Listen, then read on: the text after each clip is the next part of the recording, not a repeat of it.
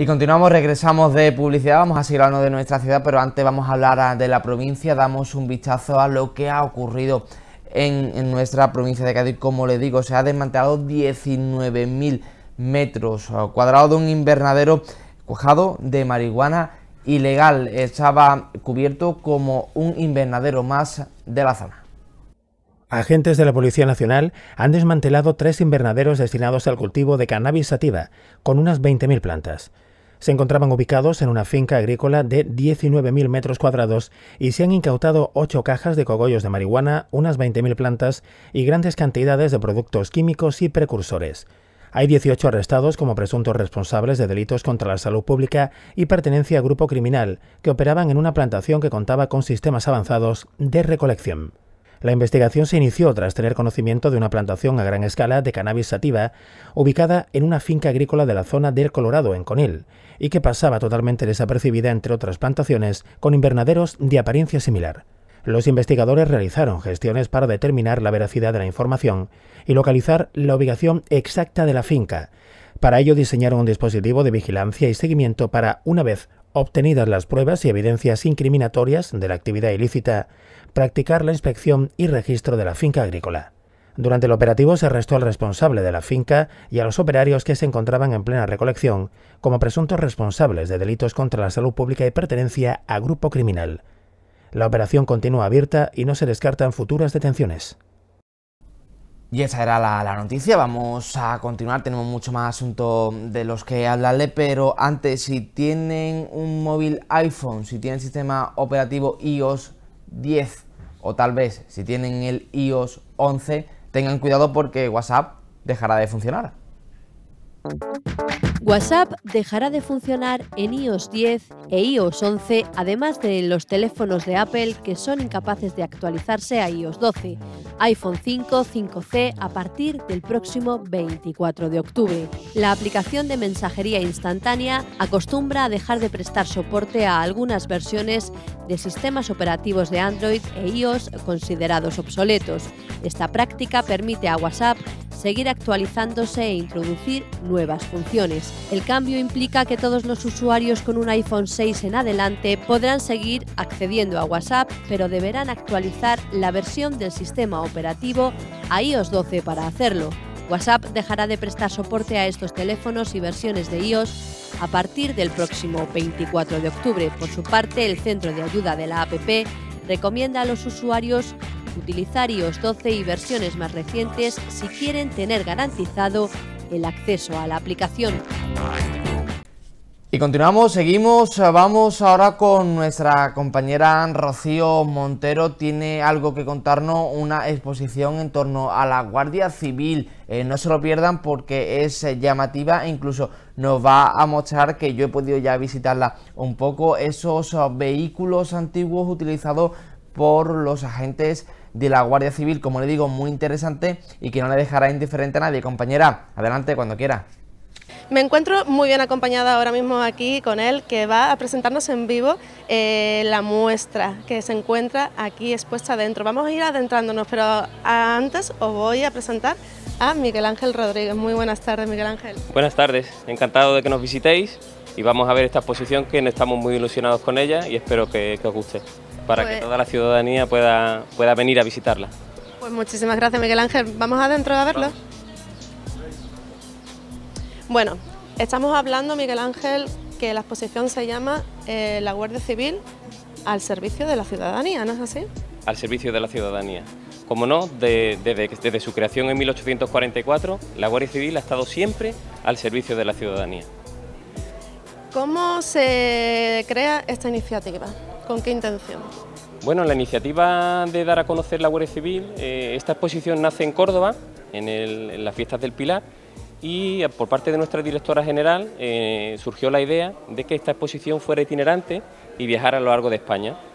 Y desde Chiclana, desde mi unidad, pues se ofertó la posibilidad por de la comandancia para que viniera a Chiclana y vimos que por parte del ayuntamiento la verdad que la colaboración ha sido espléndida. Desde el primer momento eh, se ha apostado por que esta exposición venga y, lo hemos conseguido. Bueno, aquí cada día va a, haber un, papel fundamental en cada una de estas especialidades. ¿Por dónde vas a querer que comencemos para ir bien? Bueno, si queréis, eh, la bienvenida la, hacemos aquí, en este panel de Bienvenidos a la Guardia Civil, donde en primer lugar pues presentamos lo que es la Guardia Civil, eh, nuestras funciones eh, y a lo largo, nuestra extensión a lo largo del territorio nacional. ¿no? Después pasamos a ver un poco o bien la historia de la Guardia Civil, que se ve a lo largo de todos estos paneles, que podemos ver desde la fundación de la Guardia Civil en el año 1844 y vemos aquí, desde la creación, aquí vemos eh, don Francisco Javier Girón de Espeleta, que es el creador nuestro, nuestro fundador, y vemos toda, todo el periplo de la Guardia Civil, desde la fundación, pasamos por la consolidación, que ya nos vamos al año 1844-1868, después pasamos el sexenio revolucionario, eh, y después, si queréis, eh, después continuamos viendo la historia y pasamos a ver los paneles de, la Fundación. Mira, eh, un ejemplo que podemos ver de las especialidades que tenemos cada día, tenemos unos compañeros aquí de la especialidad, si queréis pasamos un momento. Si nos permitís un segundo, compañeros, tenemos en directo a Ocho Chiclana, tenemos aquí los compañeros de laboratorio y es una de las especialidades que tendremos a lo largo de la exposición. Hola, ¿qué tal? Eh, ¿Nos puede explicar un poquito así por encima la idea, la intención que tenéis aquí? Porque estamos viendo que hay gente que viene a visitaros, ¿no? Eh, en resumidas cuentas lo que queremos enseñar es parte del equipo con el que trabajamos eh, cuando hacemos las distintas inspecciones oculares que, realizamos como consecuencia de nuestro trabajo y que vean pues eso, los reactivos, los testigos métricos, un poco los medios que disponemos para hacer el tema de las inspecciones oculares y, bueno, y enseñaré también un poco lo que es una reseña policial. Eh, eso nos cuenta los medios de los que disponemos para realizar las inspecciones oculares que, hacemos cuando hay un homicidio, que generalmente son las que solemos participar el Laboratorio de Criminalística de la Comanda de Cádiz. ¿eh? Y ahora pues vamos a sacarle una huella a, él para que vea cómo funciona el reactivo. A ver, vamos a tener aquí una demostración, veamos. Este, este reactivo es eh, magnético, ¿vale? Anteriormente ha depositado ya la mano. Ah. Y ahora van apareciendo entonces las huellas, ¿no? Al final, exactamente. Esto eh, es un imán y el imán recoge el reactivo y lo volvemos a utilizar nuevamente. Es el método que siempre se emplea a la hora... Es uno de ellos. Tenemos distintos tipos de reactivos en función de la superficie en la que vamos a trabajar.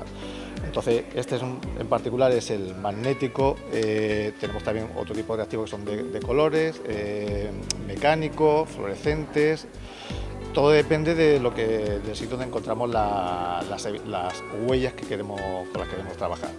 Eh, en este caso estamos utilizando el magnético, bueno, porque es un, eh, aquí en el papel, eh, para que la gente vea un poco por encima cómo, es un reactivo, vean cómo pones unas huellas, tiras el, reactivo y, se, y afloran las huellas dactilares. Son las huellas tuyas que, que, ha, sacado antes. Así que, que sepa que ya está fichado. Bueno, pues muchísimas gracias por habernos mostrado la demostración. Os dejamos por aquí. Continuamos la exposición por aquí, Miguel Ángel. Eh, continuamos, eh, como veis aquí, con la historia de la Guardia Civil. Eh, lo dejamos antes en el sesenio revolucionario y nos vamos ya a lo largo de 1868 1874, bueno, todo el periplo de la Guardia Civil que vive a lo largo de los años, esos duros años que fueron, ¿no? Cambiamos de política, ¿no? De partido político de línea política, pero bueno, la Guardia Civil siempre continuaba en el ejercicio de su labor al ciudadano, ¿no? Pasamos a la restauración monárquica, después al reinado de Alfonso XIII, ¿vale? Para después pasar a la Segunda República y ya entraríamos en la Guerra Civil, ¿vale? para posteriormente a la guerra civil, ya después entraríamos en la etapa del franquismo y ya si nos damos la vuelta a los últimos paneles, ya pasaríamos a la transición y democracia y realmente ya nos centraríamos en el hoy, en la Guardia Civil de hoy, que es aquí este panel de aquí, que es la Guardia Civil de hoy al servicio del ciudadano, que es la Guardia Civil hoy que conocemos, una Guardia Civil moderna, una Guardia Civil dedicada a la prestación de su servicio y totalmente dedicada al servicio al ciudadano. Eh, estupendo, Miguel Ángel. Bueno, tenemos aquí, como estamos viendo, algunas de vestimentas, eh, un ejemplo, ¿no? Eh, explícanoslo un poquito por aquí. Pues mira, este fotocall eh, lo tenemos para que todo aquel que se quiera hacer una foto con los diferentes, las diferentes gorras o cascos del cuerpo o la vestimenta de especialidades, pues se puede hacer una foto, además vestimenta de especialidades eh, allí detrás. Y sí que me gustaría eh, que nos centráramos un poco en la importancia que le doy yo pues, a la mujer en la Guardia Civil. ¿no? es este panel de aquí, la mujer en la Guardia Civil, ya en el año 1800, 1989 pues en 1988 ya fue la primera promoción de, de Guardias Civiles donde entró la mujer y la verdad es que eh, la importancia eh, que tiene ello y hoy en día pues necesitamos que las mujeres entre la Guardia Civil, que la Guardia Civil sea atractiva para las mujeres y bueno, esa importancia de, dedicarle a la mujer en la Guardia Civil que es fundamental. ¿no? Un papel bastante fundamental. Sí. Entonces seguidamente vemos aquí, estos son los paneles de las diferentes especialidades de la Guardia Civil y bueno, las explicamos todas para que, las, para que conozcan, bueno, aquel que le guste la Guardia Civil, oye, pues se puede centrar en una especialidad o en otra, mm, según le interese o según los estudios que tenga, ¿no? Es algo muy importante. E incluso después tenemos la Guardia Civil las redes sociales, que hoy en día sabemos que en las redes sociales eh, hay que estar en las redes sociales, pues la Guardia Civil hoy en día está en las redes sociales, participativa, para que el, ciudadano eh, pueda conocer las noticias en el mismo momento. Después pasamos, si queréis, si sois tan amables, pasamos a visitar eh, un aspecto muy importante de, que para mí tiene la exposición, que lo dije ayer incluso en... Eh, ayer, hace unos días, hace unos días sí, que es, mira, si, si, vemos allí detrás, la importancia que tiene para mí todos los fallecidos en actos terroristas, bueno, asesinados en actos terroristas. Entonces, tenemos aquí el primer atentado, nuestro guardia civil José Antonio Pardines Arcay, y después tenemos todos los compañeros que han sido asesinados en atentados terroristas, y el último panel, los civiles, que también, las personas civiles que se vieron también asesinados eh, en actos terroristas. Para mí es un deber de gratitud y hay que hacer una mención clara en, este, en esta exposición ¿vale? porque dieron su vida eh, en atentados terroristas. Y finalmente, si podemos ver aquí también una exposición de armas incautadas a bandas terroristas. Y son eh, armas incautadas. incautadas. y esta medalla, ¿ves? Diploma medalla de oro a mérito social penitenciario a José Antonio Ortega Lara. El famoso José Antonio Ortega Lara, que su historia, la verdad, fue secuestrado. Durante muchísimos días. Vemos aquí también armas intervenidas. Y estas también son, de bandas... Intervenidas, sí, son todas intervenidas. Y veis aquí la imagen que vemos del Guardia Civil con el tricornio. Tenemos aquí un tricornio que cedió la Casa Moya de Sevilla. Y tenemos la historia aquí detrás del tricornio. Que vemos, decimos, el Guardia Civil ligado al tricornio, pues aquí vemos la historia de nuestra gorra y la historia en particular de nuestro sombrero de tres picos o tricornio. Las bicicletas son a lo mejor una muestra como para ver cómo andaba antes la Guardia Civil en, no sé, algún tipo de vehículo que usaba en este Sí, este vehículo lo usamos, lo usó la Guardia Civil, efectivamente. Y traían la manta porque claro, a lo largo del servicio, antes el servicio duraba 24 horas y pues iban por los caminos con la bicicleta y la manta es pues si surgía el frío, pues poder cubrirse. Efectivamente, los vehículos los vamos a ver ahora. Hemos puesto aquí las bicicletas que son más pequeñas y tal, pero los vehículos los tenemos en, otra parte que los vamos a ver ahora. Ahora vamos a ir acercarnos. Una cosita, Miguel Ángel, antes de ver los vehículos, esta exposición solamente se ha expuesto a nivel nacional tres veces. Chiclana es la única ciudad de la provincia de Cádiz que se ha ofrecido a acogerla, ¿no? Sí, la verdad es que somos muy afortunados y le tengo mucho que agradecer, le tenemos mucho que agradecer al ayuntamiento eh, a través de su alcalde, José María, y hay más gente. Está Juan Carlos, es responsable de aquí del museo, que está súper implicado. Eh, después tenemos a Primitivo Collantes, que es la bodega eh, que está anexa. La verdad que sin su colaboración tampoco podía haberse celebrado. Nos queda mucha más gente por, por darle las gracias, pero a todos ellos la verdad que sinceramente les damos las gracias por su colaboración. Estupendo, bueno, nos vamos a ver los vehículos entonces. Perfecto, vamos. Bueno, Miguel Ángel, nos encontramos ya aquí en la zona, en el escenario donde se encuentran todos los vehículos de la Guardia Civil, además que están muy bien cuidados. Todo esto me has dicho que viene de Madrid, ¿no? De Madrid, de nuestro servicio de material móvil, y la verdad que se cuida allí como un tesoro. y lo sacamos para las exposiciones para que podamos ver y comprobar pues, nuestra historia. En estos vehículos se ha prestado servicio a lo largo de toda España y durante muchos años. ¿Podemos ver el interior de alguno de ellos? Por supuesto. Nos acercamos por aquí, porque este vehículo exactamente de qué año pues mira, data. Las indicaciones vienen aquí, eh, las tienen aquí, ¿veis? Pues en diciembre de 1960, ¿vale? Mira si tiene años y cuidamos bien las cosas. Aquí tenemos nuestro Citroën en dos caballos. dos caballos solamente tiene. sí, es curioso, pero veis que está súper bien conservado ese vehículo que está todavía, que todavía sigue en funcionamiento y la verdad que lo cuidamos como, un tesoro. ¿eh? Mm, una reliquia, como lo que es. La verdad que cuidamos mucho lo que tenemos y nos gusta conservarlo y la verdad es que es nuestra historia y, estamos muy orgullosos de ello. Tenemos aquí una moto de tráfico, que esta moto todavía incluso está en, servicio. Y bueno, motos de que se han usado a lo largo de la historia, ¿vale? muy conocida sería lo que, como si fuera una KTM, ¿no? Sí, una Montesa, la patrulla de nuestra eh, patrulla rural motorizada, eh, nuestro servicio rural a lo largo de muchísimos años, el servicio rural que ha prestado la Guardia Civil eh, en el campo, pues se usaba este tipo de motos. La Guardia Civil de Tráfico, la 650, también tiene sus años. ¿Esta que será por, por, lo menos de los años 70-80? Aproximadamente. Y bueno, el SEAT, ¿no? SEAT de histórico, ¿no? Es que son vehículos que los hemos visto eh, cuando hemos crecido, la verdad, y mira, es que están súper bien conservados. Si pasáis por aquí...